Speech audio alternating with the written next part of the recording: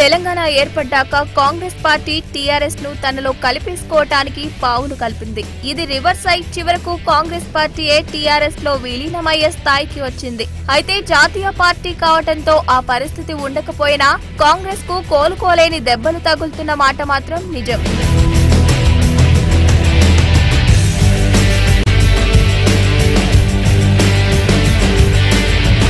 అటు తెలుగుదేశం వైసీపీలు పూర్తిగా నిశ్శేషమైపోయాయి ఉన్న ఒక్క ప్రత్యామ్నాయం కాంగ్రెస్ మాత్రమే.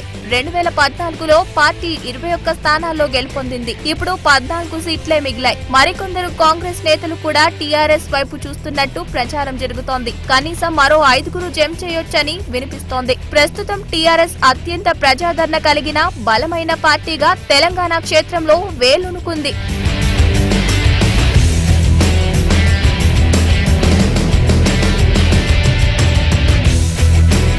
మొత్తం నూట పంతొమ్మిది స్థానాలున్న అసెంబ్లీలో పార్టీ బలబలాలు చూస్తే టీఆర్ఎస్ తొంభై కాంగ్రెస్ పద్నాలుగు ఎంఐఎం ఏడు బీజేపీ ఐదు సిపిఐకి ఉన్న ఒకే ఒక్క ఎమ్మెల్యే రవీంద్ర నాయక్ కూడా టీఆర్ఎస్లోకి వెళ్ళిపోవడంతో ఆ పార్టీ కూడా ప్రాతినిధ్యం లేకుండా పోయింది.